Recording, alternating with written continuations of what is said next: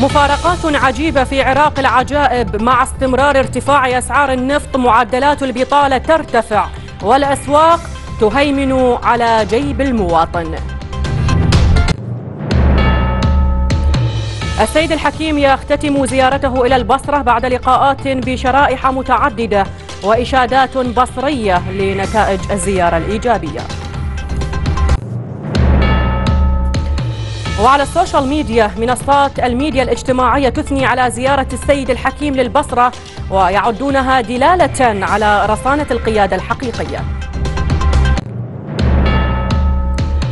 مصادر سياسية تكشف عن مفاوضات حقيقية لإنهاء الأزمة الحالية والأغلبية الموسعة أهم المفاوضات بين الإطار والتيار.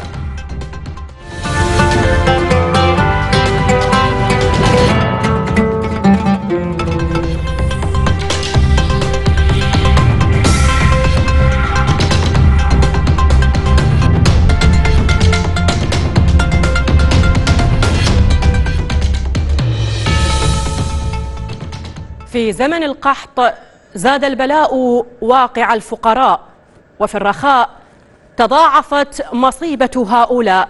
هو ثابت حالهم ارتفع النفط سعرا أم شحت الخزينة مالا؟ لكن أمرهم أمر وأكبر.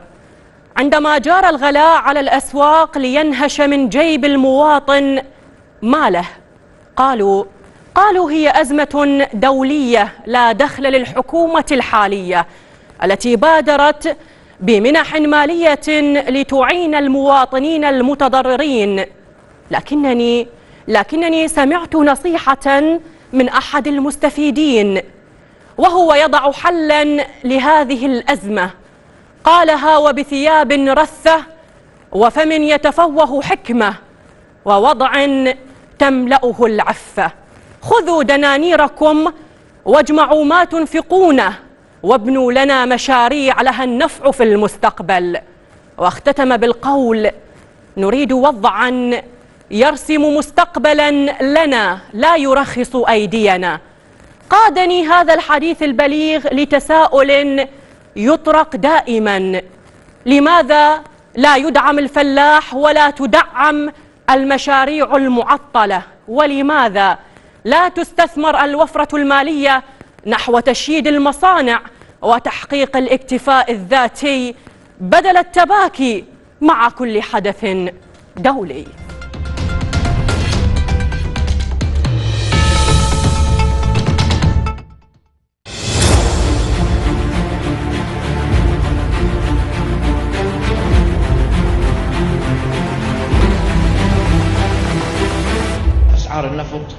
تصعد بشكل غير مسبوق. البورصة تصعد العراق يصير إيراداته مضاعفة. تغيير سعر الصرف مع هذا الارتفاع في واردات العراق بالدولار نتيجة بيع النفط. فصارت وفرة مالية. وهذه الوفرة المالية سيف ذو حدين. قاتلنا في سنوات ماضية. حتى نمرر قانون البترو دولار وأن المحافظات المنتجة للنفط بكل برميل لها خمسة دولار. قانون تشريع ملزم. من 2013 ولليوم كل سنة وقالوا والله ميزانية الدولة ما تكفي. يا دوب إحنا نمشي رواتب القضايا الضرورية. نشيل خمس دولارات من كل برميل. معناه هذا مبلغ كبير شلون نعوضه إحنا؟ ما قادرين. إذا اكو وفرة مالية هاي الوفرة تكون تجي تعطى حق المحافظات المنتجة البصرة أولها والمحافظات الأخرى. البترو دولار يجب أن يعود إلى البصرة. مو كله دفعة واحدة. ما يقدرون بشكل تدريجي. خل يعطون حتى تنهض هذه المحافظات وهذا حقها. ما دا تطالب بشيء إضافي؟ تطالب بحقها. وهذه مسألة جدا أساسية ومهمة.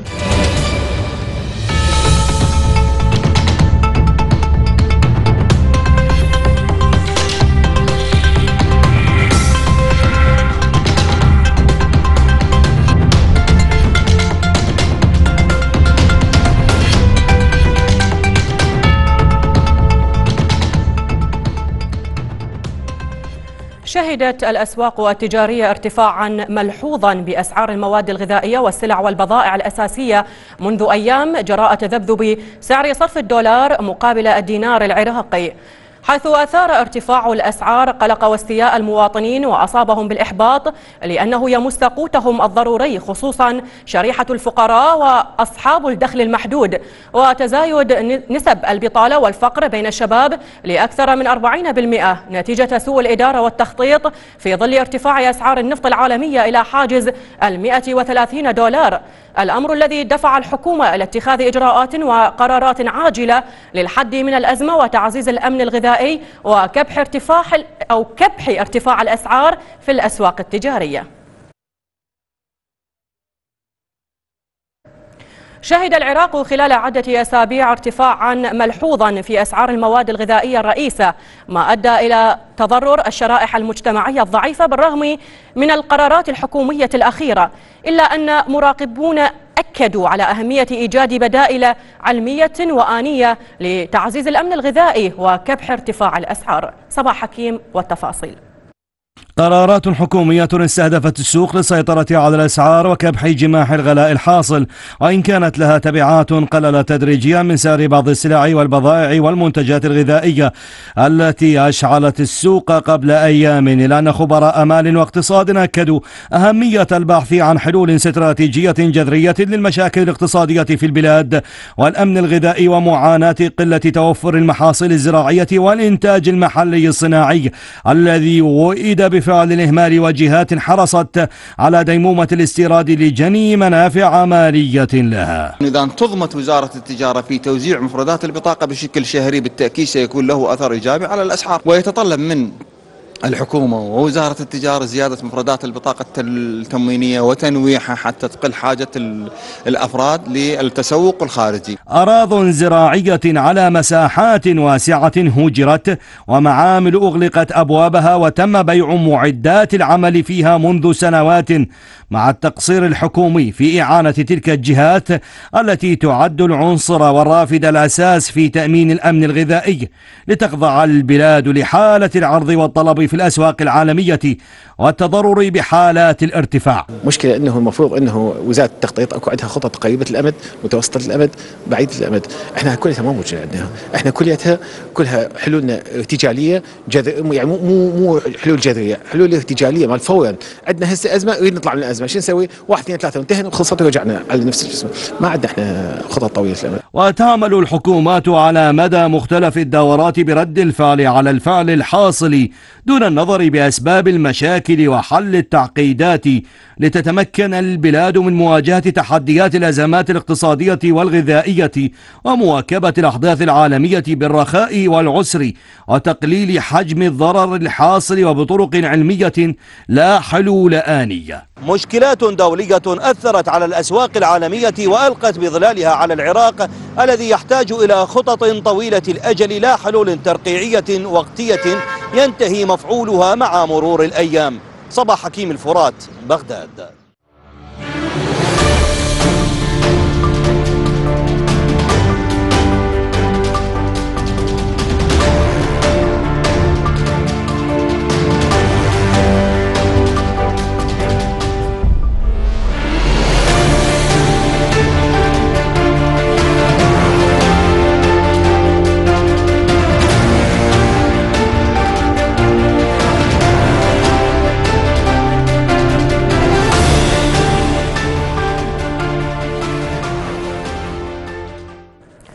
نظمت غرفة تجارة بغداد ورشة عمل حول الأزمة الاقتصادية وارتفاع أسعار المواد الغذائية في الأسواق المحلية. حيث أكد اقتصاديون ورجال أعمال أن جميع القرارات التي تم اتخاذها من قبل مجلس الوزراء لمعالجة أزمة الغذاء هي إجراءات ارتجالية تعكس غياب الرؤية وانعدام الحلول الاستراتيجية مؤكدين على ضرورة تفعيل القطاع الخاص لحل الأزمة الاقتصادية والسيطرة على الأسواق التجارية وإعادة النظر بالعلاقات الاقتصادية بين بعض الوزارات وغرفة التجارة.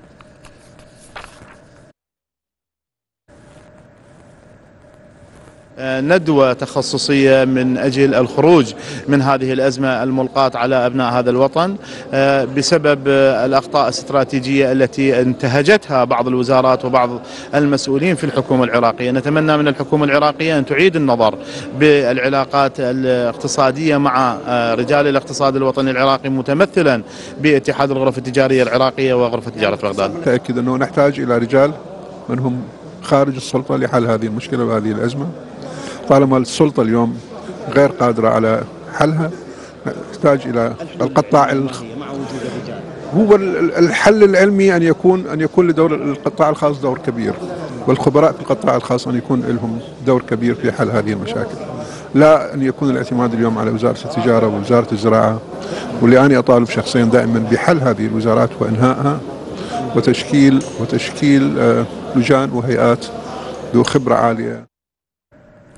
تظاهر العشرات من أبناء قضاء السنية شمالي محافظة الديوانية احتجاجا على ارتفاع أسعار المواد الغذائية في الأسواق التجارية. مطالبين الجهات المعنية باتخاذ إجراءات سريعة للسيطرة على الأسواق المحلية وحماية الأسر الفقيرة وأصحاب الدخل المحدود من مضاربات الأسعار. ليث صلاح والتفاصيل.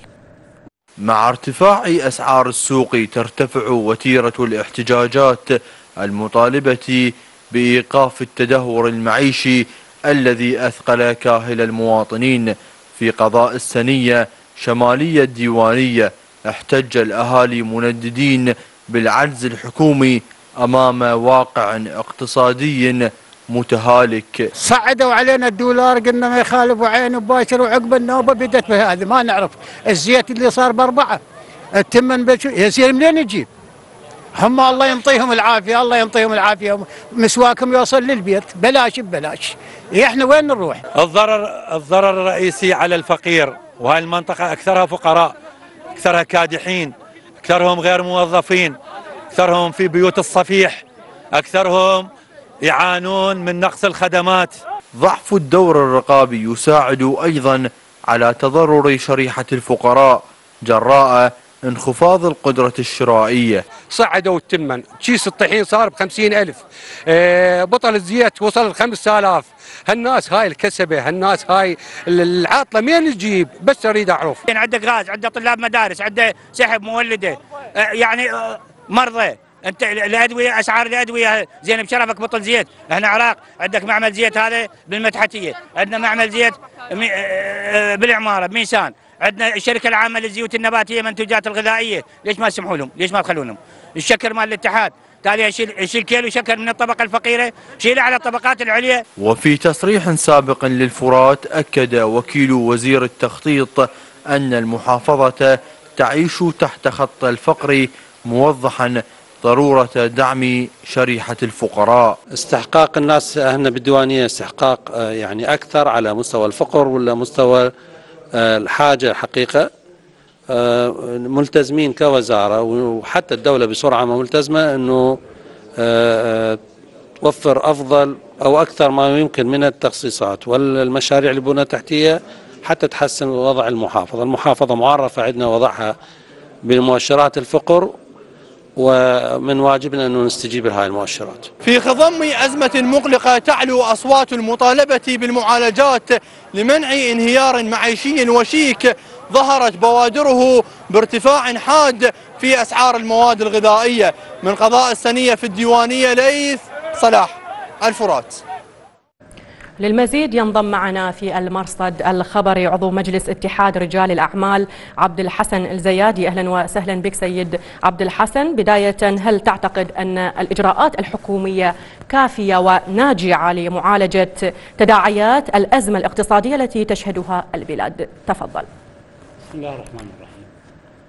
آه، بالحقيقة الحكومة بادرت إلى مبادرات ولكن هذه المبادرات اللي أنا أشوفها هي مبادرات ضعيفة وأنا بتقديري خجولة بالوقت الحاضر لأن نعم نعتذر.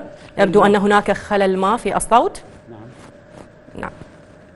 استمر. أكو خلل في الصوت. نعم.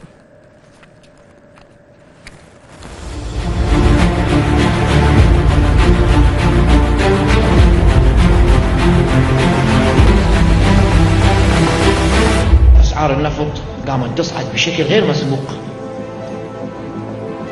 البورصة تصعد العراق يصير إيراداته مضاعفة. تغيير سعر الصرف مع هذا الارتفاع في واردات العراق بالدولار نتيجة بيع النفط فصارت وفرة مالية. وهذه الوفرة المالية سيف ذو حدين.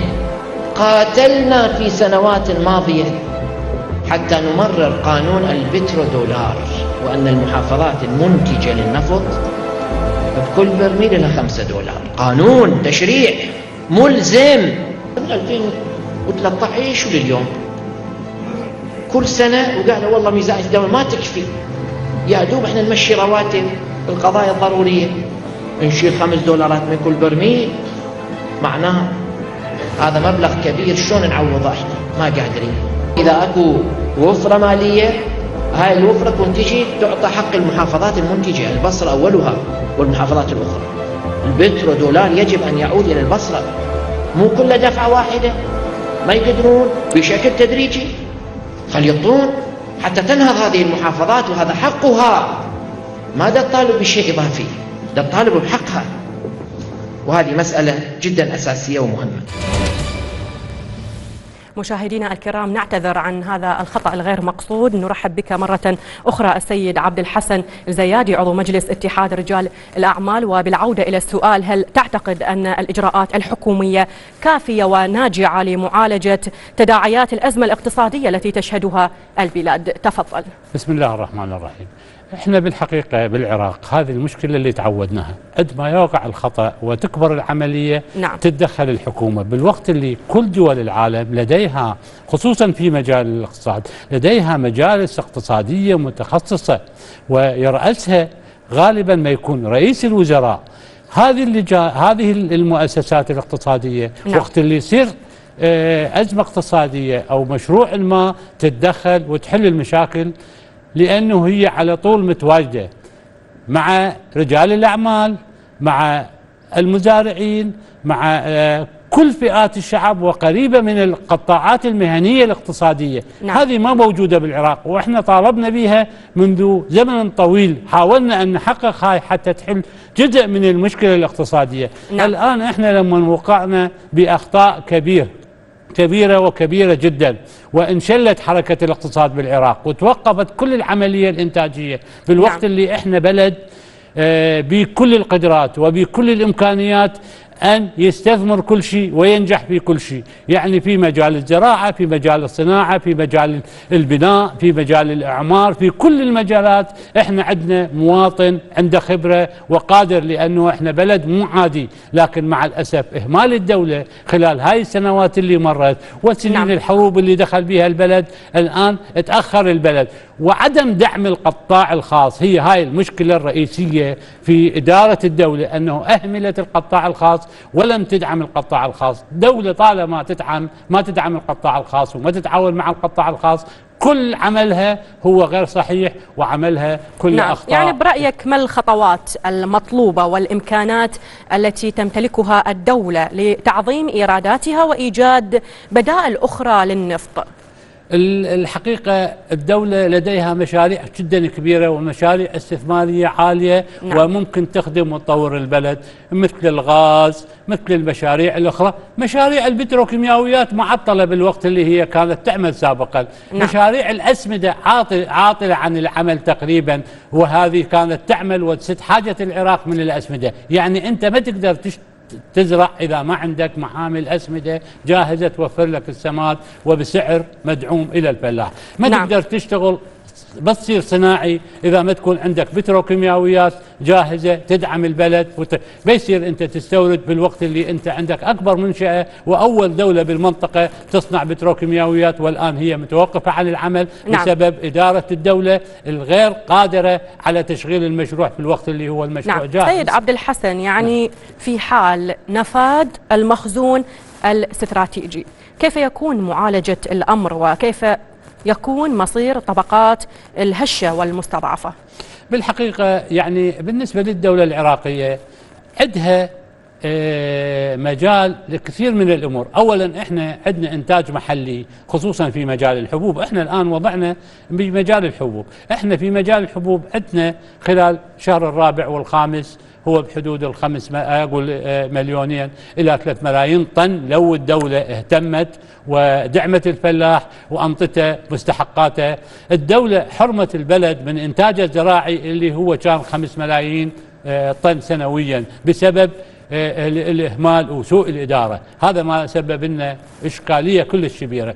الآن طيب الدولة انت الدولة لموضوع القطاع الخاص، نعم الدولة تفضل. الدولة تبكي على المستورد مع الأسف يعني خصوصا الوزارات ودوائر الدولة لأن مستفيدة أكو نعم. جهات مستفيدة من المستورد بالوقت اللي إحنا نقدر ننجز كثير بدون مستورد بلدنا نعم. عنده قدرة أن يشغل الناس وإحنا عندنا 10 ملايين عاطل عن العمل بسبب أنه 70% من مواردنا هي أو من موادنا هي مستوردة. بالوقت اللي إحنا نقدر نقلل المستورد ونضاعف سعر المستورد حتى نشغل الإنتاج المحلي. نعم عضو مجلس اتحاد رجال الأعمال عبد الحسن الزيادي شكرا جزيلا لانضمامك إلينا في المرصد الخبري وشكرا على هذه المعلومات الوافية. حياك الله.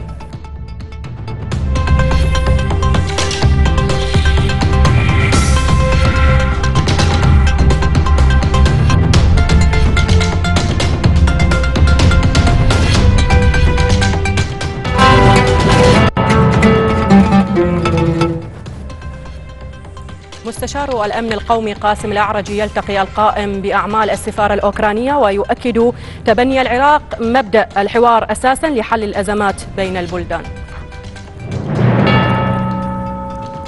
وكالة الاستخبارات تعلن ضبط ستة مواقع تستخدم لتهريب النفط ومشتقاته بصورة غير رسمية في كركوك وبغداد وميسان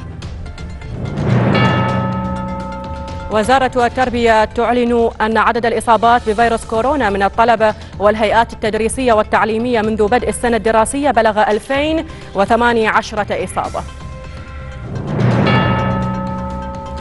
محافظة أربيل تعلن استئناف مهرجان آذار ونوروز بمشاركة 2500 شخص بعد توقف دام لسنوات بسبب جائحة كورونا والأزمة الاقتصادية.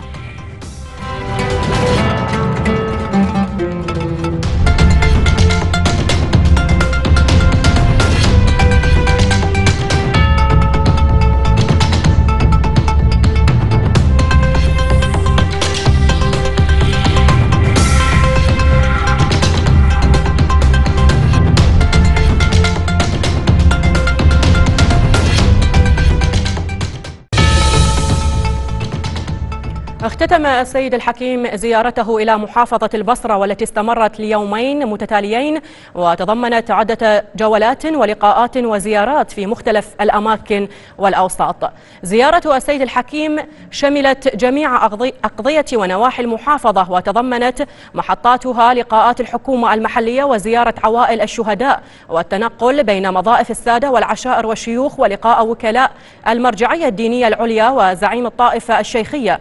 كذلك لقاء النخب والكفاءات والشعراء والأوساط الفنية والرياضية في جلسات حوارية. وتجول في شوارع المحافظة وأروقة المدينة الرياضية ليكون افتتاح حسينية شهيد المحراب قدس سره الشريف آخر محطة لزيارة السيد الحكيم إلى البصرة.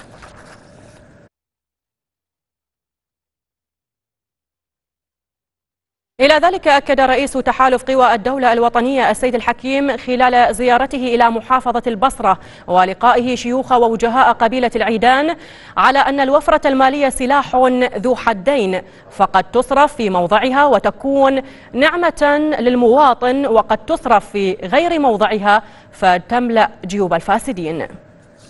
أسعار النفط من ترتفع. سيف ذو حدين مو بالضرورة تكون القضية مفيدة للناس. ليش؟ بس ترتفع أسعار النفط. كل المصانع بالعالم اللي تشتغل على الوقود صار كلفها أعلى. من صارت كلفها أعلى يعني مبيعاتها بضائعها مصير أغلى. زين إحنا بلد استهلاكي.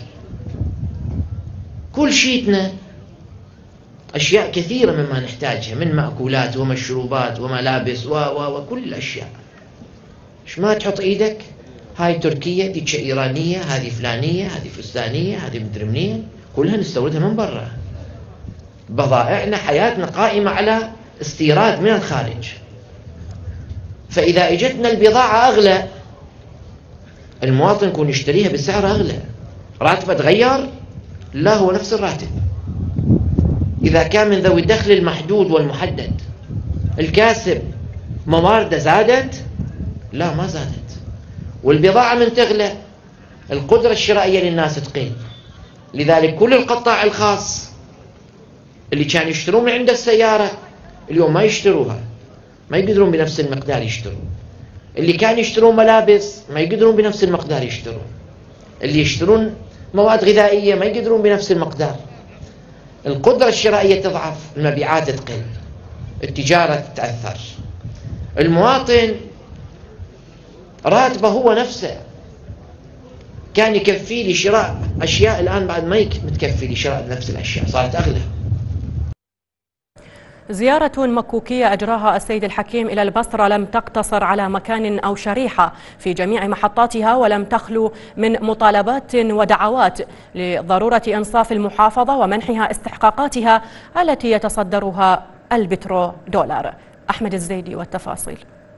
إلى فيحاء الجنوب وسلة خير العراق. إلى البصرة المعطاء كانت زيارة السيد الحكيم في جولة حملت الكثير من الأبعاد الاجتماعية والوطنية لتكون أولى محطاته اللقاء بمحافظها وأعضاء حكومتها المحلية والقادة الأمنيين فيها ليؤكد من هناك على أهمية الارتقاء بالواقع الخدمي للمدينة واستحصال حقوقها المادية وتعويضها عن أضرارها البيئية وإكمال المشاريع الاستراتيجية ومنها ميناء الفاو الكبير. أسر الشهداء في المحافظة كانت المحطة الأهم في الزيارة إذ استذكر سماحته مآثر الشهداء وتضحياتهم الجسام فضلا عن ما قدمته البصرة من أعداد كبيرة من الشهداء دفاعا عن الأرض والمقدسات. وبعد محطة الشهداء التقى السيد الحكيم بجمع من شيوخ العشائر وزار عدد من المضائف فيها ومن هناك استذكر التأريخ الناصع للعشيرة العراقية ودورها الفاعل في الأزمات والملمات مؤكدا على أن قوة الدولة بقوة العشيرة داعيا في الوقت نفسه إلى ضرورة تصحيح بعض الأعراف الخاطئة كاعتماد السلاح واستخدام القوة المفرطة في النزاعات والخلافات عبر اللجوء إلى القانون واحترام هيبة الدولة. ولأهمية الرياضة في قياس حيوية الشعوب كانت المدينة الرياضية إحدى المحطات المهمة التي التقى فيها بجمع من رياضي المحافظة وأبطالها معربا عن سعادته برفع الحظر عن الملاعب العراقية مع أهمية تطوير الرياضات المختلفة في البلاد. الاستماع إلى هموم البصرة وأهلها وتدارس مشكلاتها هي المحطة التي التقى فيها بجمع من النخب والكفاءات هناك حيث دعا بعد الاستماع إلى المداخلات القيمة إلى ضرورة إنصاف المحافظة ومنح مستحقاتها من البترودولار واستثمار الوفرة المالية لتحريك المشاريع الاستراتيجية لا سيما المنجزة بنسب عالية. وفي إطار الزيارة التقى بوكلاء المرجعية في البصرة وأقضيتها فضلا عن اللقاء بزعيم الطائفة الشيخية في العراق سماحة السيد عبد العال الموسوي. حفظ حق المكون الأكبر سيحقق العدالة في تمثيل المحافظات واستحصال حقوقها هو ما أكده سماحة السيد الحكيم في محطة اللقاء بالحشد الكبير من القيادات التنظيمية لتيار الحكمة الوطني في البصرة. وفي ختام الجولة المكوكية في محافظة البصرة افتتح سماحته حسينية شهيد المحراب قدس سره الشريف لتكون مسك الختام في الجولة التي شملت اللقاء بجميع الشرائح المجتمعية في المحافظة واستعرضت الهموم والمشاكل التي يعاني منها البصريون. لقناة الفرات أحمد الزيدي.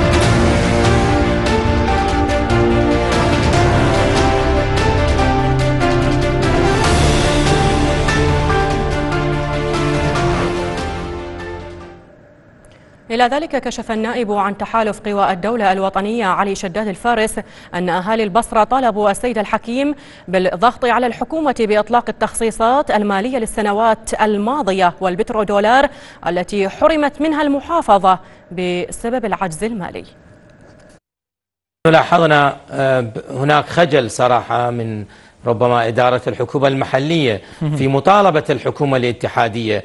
وهذا ما حمله أبناء المحافظة لسماحته بأن يكون له موقفا أيضا بالضغط على الحكومة الاتحادية بإطلاق التخصيصات المالية للسنوات الماضية وإطلاق تخصيصات البترودولار التي حرمت منها محافظة البصرة بسبب العوز المالي التي مرت بها الحكومات السابقة والحجة بأن أسعار برميل النفط كانت منخفضة واليوم نرى بأنه لا توجد حجة لدى الحكومة الاتحادية وعليها أن تقوم بإطلاق التخصيصات المالية وتخصيصات البترودولار ودعم المشاريع التي توقفت لسنوات طويلة جدا في محافظة البصرة التي تخص قطاع الصحة وتخص قطاع التربية وغيرها من القطاعات المهمة والبنى التحتية في محافظة البصرة. وللحديث عن أبرز محطات زيارة السيد الحكيم إلى محافظة البصرة والدعوات التي أطلقها ينضم إلينا من هناك عضو المكتب السياسي لتيار الحكمة الوطني الدكتور حسن خلاطي. أهلا وسهلا بك دكتور. بالبداية السيد الحكيم أكد خلال لقائه حكومة البصرة المحلية على أهمية الارتقاء بالواقع الخدمي للمحافظة واستحصال حقوقها المادية. أين تكمن هذه التأكيدات؟ تفضل. بسم الله الرحمن الرحيم. شكرا جزيلا. اسمحوا لي في البداية أن أدخل لمقدمة في الحديث. أولا شخصية السيد الحكيم تحمل عدة أبعاد. أبعاد نعم. آه، دينية أبعاد اجتماعية أبعاد عشائرية بالإضافة إلى البعد السياسي. وكل جانب من هذه الأبعاد انعكس خلال هذه الزيارة من خلال اللقاءات بالشرائح المتعددة. فالأبعاد نعم. الدينية التي آه، تضرب بجذورها إلى أكثر من مئة عام من خلال مرجعية زعيم الطائفة سيد محسن الحكيم وارتباط الناس السائرين على خطى المرجعية بهذه نعم. آه، العائلة الكريمة انعكس من خلال اللقاءات المتعددة آه، مع وكلاء ومعتمدي المرجعية ومع الواجهات والشخصيات الدينية في محافظة البصرة نعم. وعلى المستوى العشائري كان هناك أكثر من لقاء مع مختلف زعماء وشيوخ عشائر المحافظة وعلى المستوى الاجتماعي وهو أيضا جانب مهم وبعد مهم. كانت هناك زيارات ولقاءات متعددة لشرائح مجتمعية مختلفة. شملت أيضا حتى النخب والكفاءات من خلال برنامج مخصص نعم. للنخب والكفاءات. في محافظة البصرة استمع من نعم. خلاله إلى العديد من الحكيم دعا شيوخ ووجهاء العشائر إلى تصحيح بعض الأعراف الخاطئة كاستخدام السلاح والقوى المفرطة في النزاعات كيف تلقت الأوساط العشائرية هذه الدعوات؟ نعم بكل تأكيد طبعا آه، توجد بالإضافة إلى آه، توجد بعض المشاكل العشائريه في في في هذه المحافظة المتعلقة بالنزاعات العشائريه نعم. كان التأكيد من سماحة السيد الحكيم على أن العشيرة والجانب العشائري هو الذي يحفظ الوجود في العراق وتحدث عن آه ثلاثية العشائر والشعائر والمرجعية والتي حفظت الوجود نعم. في العراق بشكل عام. وإن كانت هناك بعض الثغرات في الجانب العشائريه فدعا إلى تصحيحها من خلال العشيرة نفسها حتى أنه الكثير من القضايا والأخطاء التي تقع يمكن أن تصحح آه، من خلال نفس الجانب العشائري يعني نفس العشائر هي التي تصحح وتقوم ولا يأتي هذا التصحيح من جهة خارجية بل من نفس العشائر التي اعتادت أن آه، تضع الأصول وتضع السنائن الصحيحة. نعم. طبعا يبقى الجانب السياسي جانب آه، له دور كبير في من خلال هذه الزيارة ولذلك آه، جاء التأكيد من خلال المطالبة ومن خلال حمل رسالة المطالبة بحق المكون الأكبر نعم. وهذه كانت أهم قضية واضحة وبارزة أثناء الخطابات واللقاءات والأحاديث سواء الأحاديث العامة أو الأحاديث الجانبية نعم. وكان التأكيد على هذه المفردة وعلى هذه القضية في نعم. ظل الظروف دكتور. المعقدة وفي ظل المشهد السياسي الذي نعيشه حاليا نعم. نعم دكتور السيد الحكيم طالب الحكومة بتوظيف أسعار النفط المرتفعة في تحقيق الرفاه للشعب العراقي هل استجابت الحكومة لهذه الدعوات وكيف يمكن استثمار تلك الأموال؟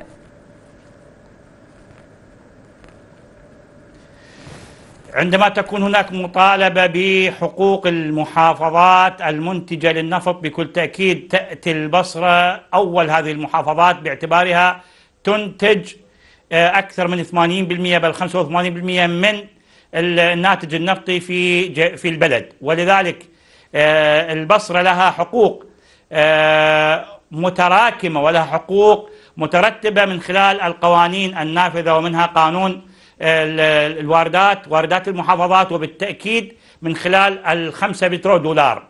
حتى أنه تراكمت هذه الحقوق وأصبحت ما يقارب من 25 تريليون. هذه لوحدها تكفي بأن تقلب وجه الخدمات في المحافظة. طبعا آه، هناك أيضا إشادة من جانب سماحة السيد الحكيم بالتطور الملحوظ والإيجابي من خلال وجود آه، تقدم واضح وبارز في الكثير من الأحياء السكنية من خلال البنية التحتية ومن خلال واقع الكهرباء وكذلك المياه الصالحة للشرب. وهذه كلها تحتاج إلى إدامة من خلال توفير الأموال اللازمة. وهذه الأموال ليست أموال إضافية إنما هي أموال محافظة البصرة. توفير فرص عمل لأبناء البصرة في الشركات النفطية. وبناء مستشفيات لعلاج المتضررين بسببها كانت أبرز مطالبات السيد الحكيم ماذا يمثل هذين المطلبين بالنسبة للبصريين؟ طبعا هو حق طبيعي لأبناء هذه المحافظة من خلال وجود الشركات النفطية العالمية الكبيرة التي تعمل في هذه المحافظة وبالتالي طبعا نعم. دون إلغاء حقوق المحافظات الأخرى ولكن هو حق طبيعي عندما يكون العمل في هذه المحافظة يكون الحق بفرص العمل لأبناء هذه المحافظة نعم. لذلك طبعا هناك تفاعل كبير مع هذا المطلب بالإضافة إلى أن هذه المحافظة متضررة بشكل كبير من قضايا المخلفات الحربية ومن الصناعة النفطية وكان لهذا الضرر أثر واضح من خلال وجود الأمراض السرطانية التي تحتاج إلى آه، توفير الخدمات الطبية اللازمة من خلال آه، دعم دائرة الصحة دائرة صحة البصرة في المحافظة بالأموال التي نعم. تمكنها وطبعا كانت هناك آه، في برنامج النخب والكفاءات مداخلة للسيد مدير عام صحة البصرة بأن نعم. المحافظة أو دائرة الصحة في المحافظة لا يوفر لها في الوقت الحاضر إلا مقدار 20% من الاستحقاقات اللي تحتاجها ولذلك طبعا كانت هذه المطالبات للمحافظة ضرورية وأساسية وتحتاج إلى آه، استجابة من قبل الحكومة الاتحادية نعم عضو المكتب السياسي لتيار الحكمة الوطني الدكتور حسن خلاطي. كنت معي في المرصد الخبري. شكرا جزيلا لانضمامك إلينا.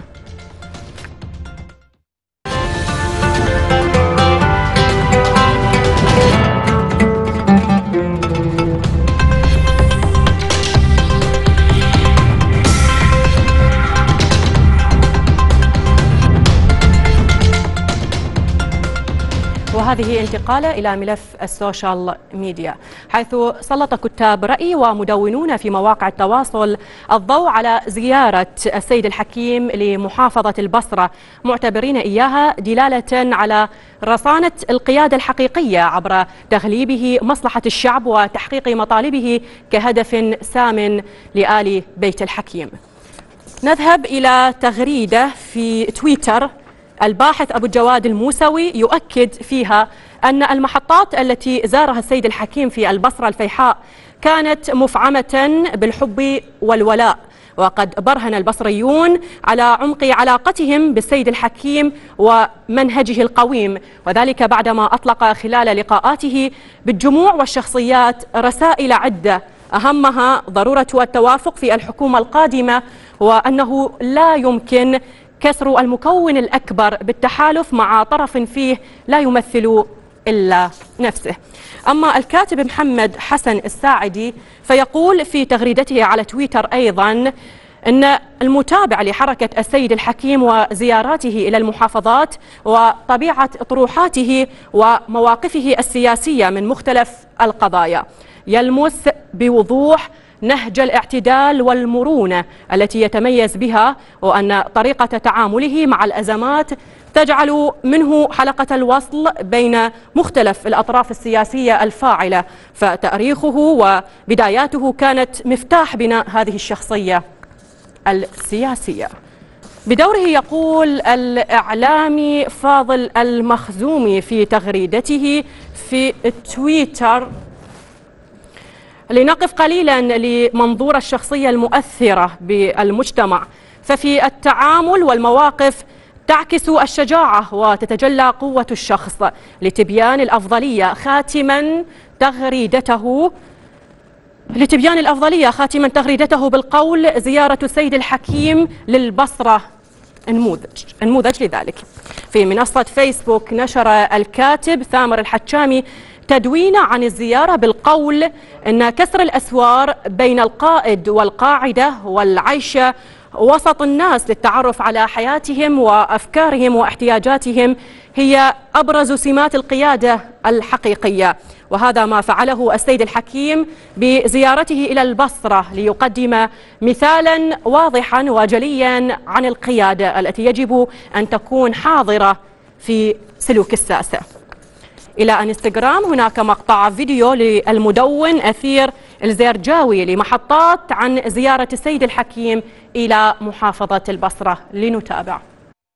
بين عينيك نقيضان وعود وسكون. صامدا كنت وما زلت وحتما ستكون. بين عينيك نقيضان وعود وسكون. صامدا كنت وما زلت وحتما ستكون. وعلى عزمك لا خوف لا خوف ولا هم يحزنون. قد يلين القيد لكنك حاشا أن تلين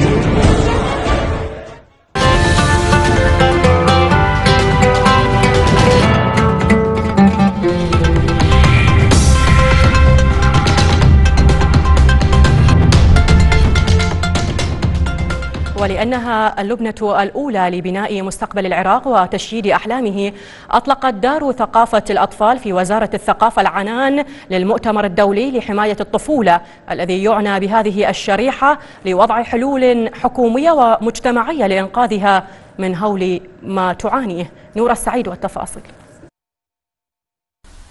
عند الحديث عن الطفولة فإن أول ما يتبادر إلى الأذهان هو المستقبل. أما في العراق فالحديث عنها يعني حكاية تحمل عناوين مختلفة بدءا من العمالة والتشرد واليتم إلى الأمية وما إلى ذلك من مشاكل الطفولة التي لا حصر لها في هذا البلد. ومن هذه العناوين انبثق المؤتمر الدولي الأول لحماية الطفولة الذي أقامته دار ثقافة الأطفال في وزارة الثقافة والسياحة والآثار برعاية وكيل الوزارة وتعاون مؤسسات بحثية ووزارة الداخلية ومنظمات مجتمع مدني معنية بالطفولة. طبعا في كل شعاراتنا مهرجاناتنا نرفع شعار لأن الطفولة مستقبلنا. فيما يتعلق بهذا المؤتمر رفعنا هذا الشعار. حماية الطفولة مسؤولية الجميع.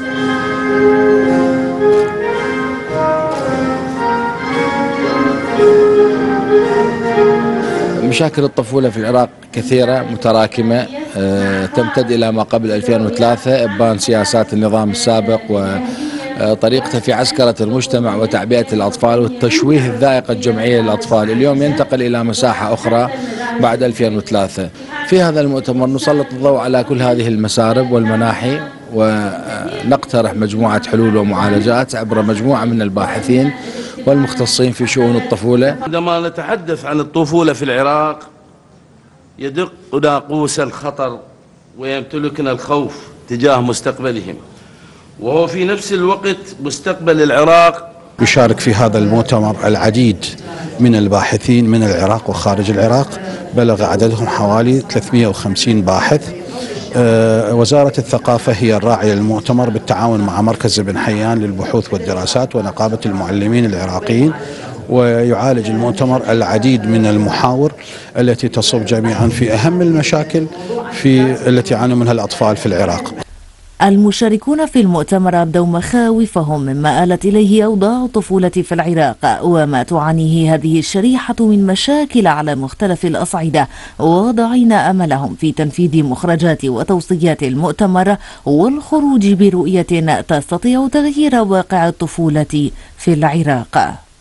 إحنا اليوم جينا نشارك كمنظمات مجتمع مدني ونتكاتف مع المؤسسات الحكومية من أجل الخروج برؤية من شأنها أن تغير من واقع الطفولة السيء. الطفولة في تراجع في مجال الصحة والتربية والتعليم والثقافة والبيئة ومن واجبنا إحنا اليوم كمتخصصين في هذا المجال أن نبحث عن الحلول وأن تكون هذه الحلول واقعية وقابلة للتطبيق وليس مجرد تنظير. ولأن حماية الطفولة مسؤولية الجميع لذلك يجب على شرائح المجتمع المختلفة الالتفات لها والعمل بجدية وحرص شديدين من أجل إنقاذ الطفولة في العراق. نور السعيد الفرات. ختام المرصد أشكر لكم حسن المتابعة والإصغاء. دمتم دائما بخير إلى اللقاء.